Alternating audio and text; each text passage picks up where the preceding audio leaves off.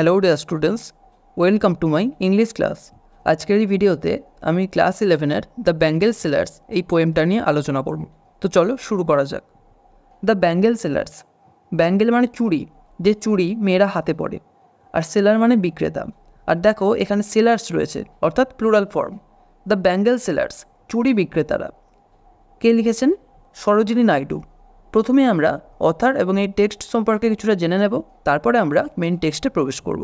দেখো, Sarojini Naidu eighteen seventy nine to nineteen forty nine was an Indian political activist and poet who served as the first governor of United Provinces after India's independence Sarojini Naidu, যার সময়কাল ছিল আঠেরোশো উনআশি থেকে উনিশশো উনপঞ্চাশ খ্রিস্টাব্দ পর্যন্ত ওয়াজ ছিলেন অ্যান ইন্ডিয়ান একজন ভারতীয় পলিটিক্যাল অ্যাক্টিভিস্ট রাজনৈতিক কর্মী অ্যান্ড পোয়েট এবং কবি হু সার্ভড যিনি কাজ করেছিলেন অ্যাজ দ্য ফার্স্ট গভর্নর প্রথম রাজ্যপাল হিসেবে অফ ইউনাইটেড প্রভিন্সেস সংযুক্ত প্রদেশের আফটার ইন্ডিয়াস ইন্ডিপেন্ডেন্স ভারতের স্বাধীনতার পর।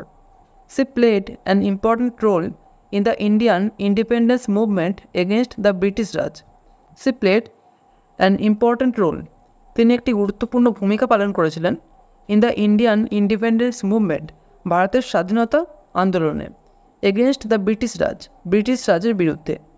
She was the first Indian women to be the president of the Indian National Congress and appointed as governor of state she was the first Indian women তিনি ছিলেন প্রথম ভারতীয় মহিলা টু বি দ্য প্রেসিডেন্ট যিনি সভাপতি হয়েছিলেন of the Indian National Congress ভারতীয় জাতীয় কংগ্রেসের। অ্যান্ড অ্যাপয়েন্টেড এবং তাকে নিযুক্ত করা হয়েছিল as the governor of state একটি রাজ্যের রাজ্যপাল হিসেবে। The bangle sellers by Sarojini Naidu pictures the stages of Indian women comparing this to different colours of bangles sold by the bangle sellers the bangle sellers by Sarojini Naidu Sarojini Naidu রচিত the bangle sellers এই পোয়েমটি pictures মানে চিত্রিত করেন the stages of Indian women ভারতীয় মহিলাদের জীবনের বিভিন্ন পর্যায়কে। Comparing this সেগুলোকে তুলনা করে to different colours of bangles চুড়ির বিভিন্ন রঙের সঙ্গে। Sold by the bangle sellers যেগুলো চুড়ি বিক্রেতাদের দ্বারা বিক্রি করা হয়। অর্থাৎ একজন মেয়ের জীবনে যে পর্যায় থাকে, একটা সময় সে কুমারী থাকে, তারপর তার বিবাহ হয় এবং তারপর একটা সময় সে মাঝ বয়সে যায়। তো এই যে বিভিন্ন পর্যায় এবং ভারতীয় মহিলাদের জীবনের এই পর্যায়গুলো কীরকম হয়, সেটাই লেখিকা চুড়ির বিভিন্ন রঙের সঙ্গে তুলনা করেছেন। It is included in her collections of poems called the bird of time published in nineteen twelve it is included এটাকে, অর্থাৎ এই যে পোয়েমটা দ্য ব্যাঙ্গেল সেলার্স এটাকে ইনক্লুডেড মানে অন্তর্ভুক্ত করা হয় in her collection of poems তার কবিতা সংগ্রহের মধ্যে called the bird of time যে কবিতা সংগ্রহের নাম the bird of time published in nineteen twelve যেটা উনিশশো বারো সালে প্রকাশিত হয়েছিল। এবার মেন পোয়েমে চলে এসো প্রথমে আমরা পোয়েমটা একবার ডিসাইড করে নেব তারপরে এর বাংলা মানেটা দেখে নেব দেখো bangle sellers are we who bear our shining loads to the temple fair who will buy this delicate bright rainbow tinted circles of light lustrous tokens of radiant lives for happy daughters and happy wives. Some are meet for a maiden's wrist, silver and blue as the mountain mist. Some are flashed like the birds that dream on the tranquil brow of a woodland stream. Some are aglow with the bloom that cleaves to the limpid glory of newborn leaves. Some are like fields of sunlit corn, meet for a bride on her bridal morn. Some, like the flame of her marriage fire, or rich with the hue of her heart's desire, twinkling, luminous, tender, and clear, like her bridal laughter and bridal tear.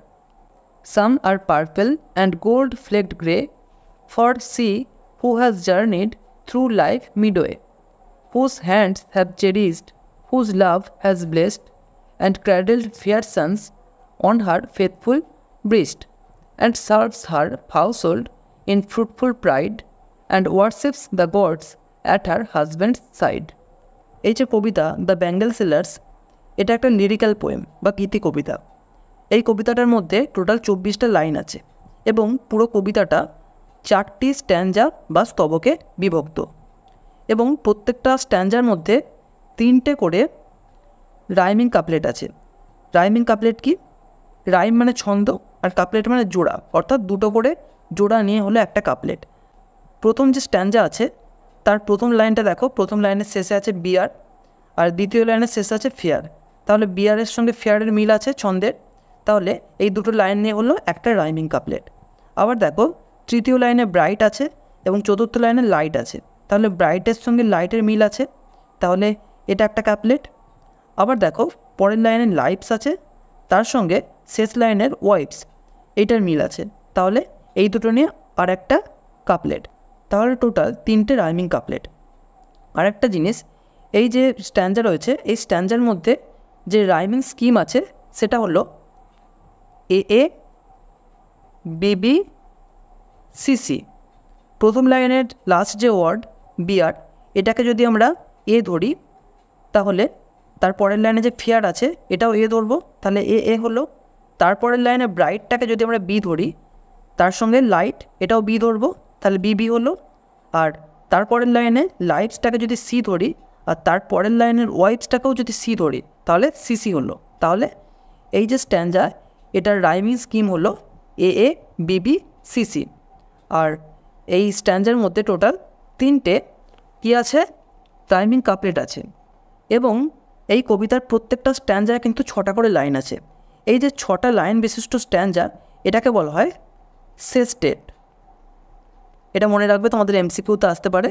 ছটা line বিশিষ্ট যে স্ট্যান্ডা, তাকে বলা হয় সেস্টেট চলো এবারের বাংলা মানেটা দেখে নেওয়া যাক। বলছে bangle sellers are we who bear our shining loads to the temple fair bangle sellers মানে চুড়ি বিক্রেতারা, আর মানে হলাম উই আমরা। আমরা হলাম চুড়ি বিক্রেতা হু বিয়ার যারা বহন করি। কি বহন করি? আওয়ার সাইনিং লোডস আওয়ার মানে আমাদের সাইনিং মানে চকচকে লোড মানে ভার। আমরা হলাম চুরি বিক্রেতা যারা বহন করি আমাদের চকচকে ভার বা উজ্জ্বল ভার। চকচকে ভার বলতে বা সাইনিং লোডস বলতে এখানে ব্যাঙ্গেলের কথা বলা হয়েছে। ব্যাঙ্গেল বা চুড়ি বিভিন্ন কালারের হয় এবং চকচক করে, তো সেই কারণে তাদেরকে সাইনিং লোডস বলা হয়েছে। তো আমরা যারা চুড়ি বিক্রেতা, তারাই সাইনিং লোডস বা এই যে ব্যাঙ্গেল এগুলোকে কোথায় বহন করি? টু দ্য টেম্পল ফেয়ার মন্দিরের মেলায়।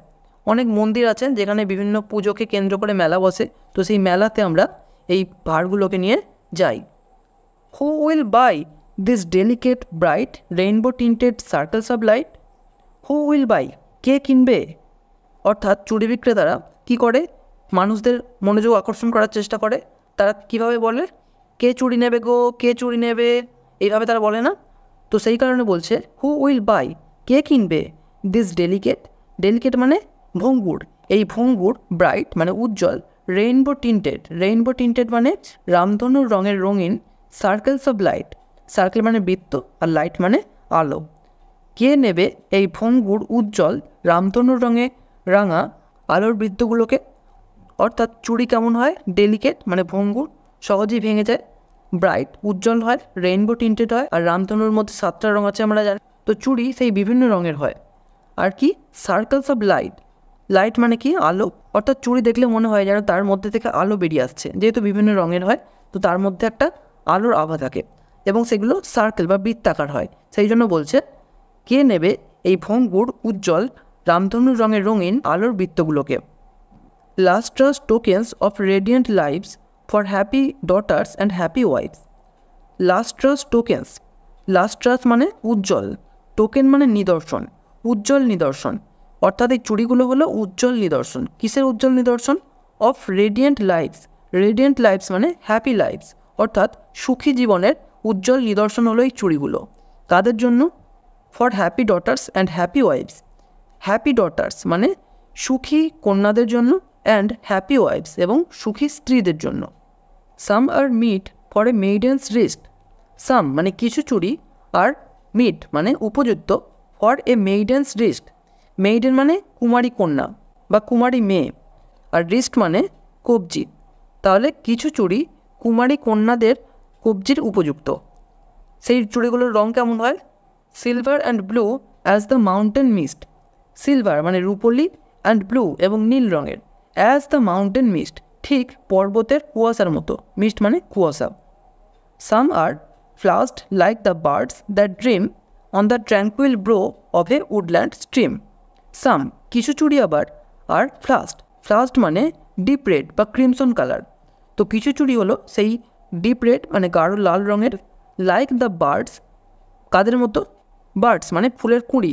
দ্য ড্রিম, যারা স্বপ্ন দেখে on the tranquil brow of a woodland stream on the tranquil brow tranquil মানে শান্ত বা প্রশান্ত ব্রো মানে কিনারা বা তীর of a woodland stream woodland stream মানে বনভূমির নদী বা বনভূমির জলাশয়। তাহলে বনভূমির জলাশয় বা বনভূমির তীরে গজিয়ে ওঠা বার্ডস বা ফুলের কুঁড়িগুলো যেমন স্বপ্ন দেখে, একদিন তারা ফুল হয়ে ফুটে উঠবে তেমনই এই কুমারী মেয়েরাও স্বপ্ন দেখে। কী স্বপ্ন দেখে? তাদের একদিন বিবাহ হবে, তারা নতুন একটা বাড়িতে যাবে এবং সেখানে সকলে তাদেরকে আপন করে নেবে। তো এই যে স্বপ্ন, তাদের মনে যে এই নতুন রং লাগছে, তো সেটার সঙ্গে চুরির রঙকে তুলনা করা হয়েছে। সেই রঙটা কেমন? ফ্লাস্ট মানে deep red are aglow with the bloom that clips to the limpid glory of newborn leaves some কিছু চুড়ি আর অ্যাগলো অ্যাগলো মানে উজ্জ্বল উইথ দ্য ব্লুম ফোটার সাথে। ব্লুম মানে ফোটা বা ফুটে ওঠা। দ্যাট ক্লিপস যেটা ভাগ হয়ে যায় to the limpid glory of newborn leaves to the limpid glory limpid মানে স্বচ্ছ আর গ্লোরি মানে আভা। স্বচ্ছ আভায় অফ নিউবর্ন লিভস সদ্য গজিয়ে ওঠা পাতার মতো। সদ্য গজিয়ে ওঠা পাতা কেমন হয়? স্বচ্ছ হয় না এবং দেখবে একদম কচি কলা পাতা রঙের হয়। এবং তারা যখন গাছের কাণ্ডের অগ্রভাগ বিদীর্ণ করে বেরিয়ে আসে, তখন দুদিকে ভাগ হয়ে যায় না, দুটো পাতা দুদিকে চলে যায়। তো সেটাই বলা হচ্ছে ক্লিপস। ক্লিপস মানে দুদিকে ভাগ হয়ে যাওয়া। সেই যে নতুন গজিয়ে ওঠা পাতা, যেগুলো স্বচ্ছ এবং হালকা একদম কচি কলা পাতা রঙের, সেই যে রং, সেই রঙেরও কিছু চুড়ি আছে। সেই রঙের সঙ্গে এখানে মেয়েদের তারুণ্যকে তুলনা করা হয়েছে। অর্থাৎ যখন মেয়েরা একদম বিবাহযোগ্য হয়ে ওঠে তো তাদের মধ্যে যে একটা তারুণ্য এবং বিবাহের প্রতি যে একটা আগ্রহ জন্মায়, তো তার সঙ্গে এই কচি কলাপাতা রঙের চুড়ির তুলনা করা হয়েছে। পরের বেলা এসো। Some are like fields of sunlit corn meet for a bride on her bridal morn some মানে কিছু চুড়ি আর লাইক ফিল্ডস ক্ষেতের মতো। কেমন ক্ষেত? অফ সানলিট কর্ন কর্ন মানে শস্য, আর সানলিট মানে যে শস্যের ওপর সূর্যের আলো পড়েছে। সূর্যের আলো পড়ে মাঠটা সোনালি আভাযুক্ত হয়ে গেছে এবং সেই যে সোনালি আভাযুক্ত রঙের চুড়ি, সেগুলো মিড মানে উপযুক্ত ফর এ ব্রাইড একজন কনের জন্য অন হার ব্রাইডাল মর্ন তার বিবাহের সকালে। Some like the flame of her marriage fire or rich with the hue of her heart's desire some মানে কিছু চুড়ি like the flame of her marriage fire flame মানে অগ্নিশিখা। কিসের অগ্নিশিখা? অফ হার ম্যারেজ ফায়ার বিবাহের যে আগুন বা অগ্নিশিখা, তার মতো কিছু চুড়ি মানে সেই রঙের কিছু চুড়ি অর অথবা rich with the hue rich মানে গাঢ় উইথ দ্য হিউ হিউ মানে কালার অথবা গাঢ় কালারের অফার হার্টস ডিজায়ার তার হৃদয়ের তীব্র ইচ্ছার তার হৃদয়ে যে একটা তীব্র ইচ্ছা থাকে, অর্থাৎ সে একটা নতুন একটা বাড়িতে একটা নতুন সংসারে প্রবেশ করছে, তার মধ্যে যে একটা তীব্র বাসনা, সেই যে তার বাসনার যে গাঢ় রং, সেই গাঢ় রঙের চুড়ির সঙ্গে এখানে তুলনা করা হয়েছে। অর্থাৎ যখন দেখবে মেয়েদের বিবাহ হয়, তখন তারা খুবই গাঢ় রঙের পোশাক আশাক পরে এবং সাথে গাঢ় রঙের চুড়ি পরে। তো সেটাই এখানে বলা হয়েছে। Tinkling luminous tender and clear like her bridal laughter and bridal tear দেখো, এখানে চুড়ির বর্ণনা দেওয়া হয়েছে। চুড়িগুলো কেমন? টিঙ্কলিং মানে টুংটাং শব্দ হয় এরকম। যেহেতু কাঁচের চুড়ি, একটার সঙ্গে আরেকটা ঠোঁকাটুকি লেগে টুংটাং শব্দ হয়। আর কি? লুমিনাস মানে উজ্জ্বল টেন্ডার মানে কোমল অ্যান্ড ক্লিয়ার এবং স্বচ্ছ। Like her bridal laughter and bridal tear like কিসের মতো? হার ব্রাইডাল লাফটার লাফটার মানে হাসি। অর্থাৎ সে নতুন একটা জীবন শুরু করতে চলেছে, তার জন্য তার মুখে একটা হাসি থাকে এবং সাথে সাথে কী থাকে? ব্রাইডাল টিয়ার তার চোখে কান্নাও থাকে, চোখের জলও থাকে। যেহেতু সে একটা বাড়ি ছেড়ে অন্য একটা বাড়িতে চলে যাবে, তার যে পুরনো বাড়ি, এতদিন যেখানে সে থেকেছে, যে মানুষগুলোর সঙ্গে থেকেছে, তাদের সকলকে ছেড়ে অন্য বাড়িতে যাবে। সেই কারণে তার নতুন জীবনে প্রবেশের জন্য তার মুখে যেমন একটা হাসি থাকে তেমনই চোখে জলও থাকে। Some are purple and gold flecked grey for she who has journeyed through life midway. Some মানে কিছু চুড়ি আর পার্পল। পার্পল মানে কি? বেগুনি বর্ণের। অ্যান্ড গোল্ড ফ্লেগড গ্রে এবং ধূসর বর্ণের, যার মধ্যে গোল্ড ফ্লেগড মানে সোনালি ছটা রয়েছে। এই ধরনের চুড়িগুলো কাদের জন্য? ফর সি তার জন্য হু হ্যাজ জার্নিড যিনি যাত্রা করেছেন থ্রু লাইফ জীবনের মধ্য দিয়ে মিডওয়ে মানে মধ্য জীবনে, একদম মাঝ বয়সে তিনি পৌঁছে গেছেন। Whose hands have cherished whose love has blessed and cradle fair sons on her faithful breast whose hands যার হাতগুলো হ্যাভ চেরিসড মানে লালন পালন করেছে, যার হাতগুলো লালন পালন করেছে হুজ লাভ হ্যাজ ব্লেসড যার ভালোবাসা হ্যাজ ব্লেসড মানে আশীর্বাদ করেছে and cradle fair sons and cradled এবং দোল খাইয়েছে ফেয়ার সানস সুপুত্রদের অন হার ফেথফুল ব্রিস্ট তার বিশ্বস্ত বুকে। এখানে দেখো, ফেয়ার সানস বলেছে, চিলড্রেন বলেনি। এখানে চিলড্রেন বলতে পারতো, কিন্তু সানস বলেছে। কেন? কারণ এখানে লেখিকা পুরুষতান্ত্রিক সমাজের কথা বোঝাতে দিয়েছেন, যার জন্য তিনি সান কথাটি ব্যবহার করেছেন। And serves her household in fruitful pride and worships the gods at her husband's side and serves এবং সেবা করেন হার হাউস হোল্ড তার গৃহস্থালীকে ইন ফ্রুটফুল প্রাইড স্বগর্বে ফ্রুটফুল প্রাইড মানে স্বগর্বে অ্যান্ড ওয়ার্শিপস এবং পুজো করেন দ্য গডস ভগবানকে অ্যাট হার হাজব্যান্ডস সাইড তার স্বামীর পক্ষ থেকে। তাহলে এই পোয়েমের ফার্স্ট স্ট্যান্ডে আমরা কি দেখলাম? চুরি বিক্রেতারা নিজেদের পরিচয় দিলেন এবং তারা চুরি বিক্রি করছেন। পরের স্ট্যান্ডে আমরা দেখলাম, অর্থাৎ দ্বিতীয় স্ট্যান্ডে আমরা দেখলাম, কুমারী মেয়েদের জীবন এখানে তুলে ধরা হয়েছে চুরির বিভিন্ন রঙের সঙ্গে। তিন নম্বর স্ট্যান্ডে আমরা দেখলাম চুরির রঙের সঙ্গে সদ্য বিবাহ হয়েছে বা বিবাহ চলছে সেই সময়ে মেয়েদের জীবনের যে পর্যায়, সেটার সঙ্গে চুড়ির রঙকে তুলনা করা হয়েছে। এবং লাস্ট স্ট্যান্ডে আমরা কি দেখলাম? যে সমস্ত মহিলারা তাদের মাঝ বয়সে পৌঁছে গেছে, অর্থাৎ তারা অনেকটা অভিজ্ঞতা সঞ্চয় করে নিয়েছে, তাদের সঙ্গে চুরির রঙকে মিলিয়ে তাদের জীবনকে বর্ণনা করা হয়েছে। তো এখানেই শেষ করছি ভিডিওটা। যদি ভালো লেগে থাকে, একটা লাইক করো। আর অবশ্যই চ্যানেলটিকে সাবস্ক্রাইব করে বেলাইকনটিকে অল করে রেখো, যাতে আমাদের আগামী সমস্ত ভিডিওর নোটিফিকেশানগুলো তোমরা পেতে পারো। Thank you